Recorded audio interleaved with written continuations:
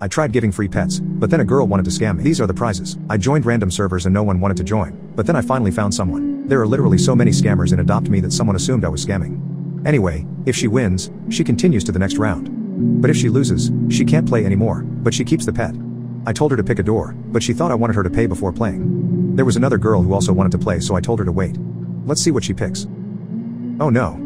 I feel so bad for her, but let's see if the other girl wins. I told her the rules and it was time to pick a door. She lost, and I was about to join a new server, but then the girl from last time asked if she could play again, so I asked her if she had already played and she said no. It's so sad to see people do this and it's happened to me before without me realizing they lied to me until I edited the video. So let's prank this girl. She got so happy I kinda regret doing this, but I continued. Call me a bad person or not, but I wanted to teach her a lesson. What's funny is I gave her a chance to keep the Mega Phoenix, but she got greedy and wanted to continue playing. And when I exposed her, she still denied that she lied to me. I think she deserved it, like the video if you agree.